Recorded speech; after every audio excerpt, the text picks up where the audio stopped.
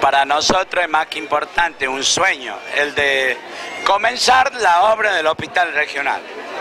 A pesar que vino una parte para construir y con desfasaje económico de la devaluación económica que sufre el país, ya que esto fue evaluado hace más de dos años. Quienes tenemos responsabilidad institucional sabemos que no debemos desmayar en nada, al contrario, en cada día que amanecemos le damos gracias a Dios y comenzamos un nuevo desafío.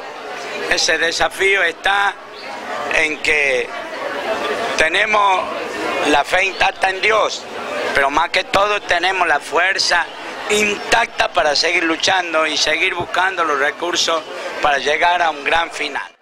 El municipio también va a hacer un gran esfuerzo, va a ir aportando todo lo que más pueda para que eso, como toda obra, una vez que se comienza, hay que luchar y luchar hasta que se la termine.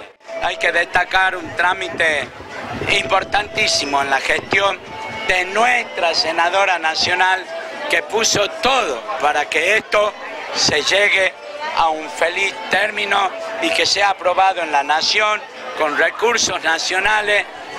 Nuestro legislador José Orellana, que es nuestro conductor, quienes estuvieron preocupadísimos por el tema y hoy comenzar ya es el gran desafío.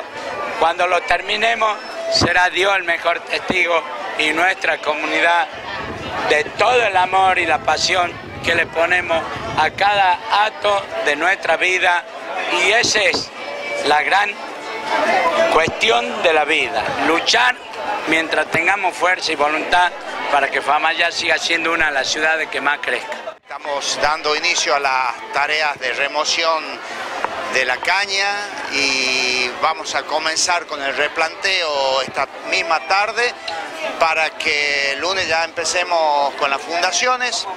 Es un plan de trabajo que tenemos la primera etapa de cuatro meses, vamos a tratar de cumplirlo y esperamos que el intendente, la senadora, el legislador puedan conseguir los fondos para proseguir y culminar el hospital.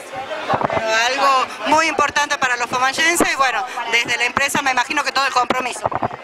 Todo el compromiso, una empresa que ya tiene experiencia, antecedente de haber hecho este tipo de obra.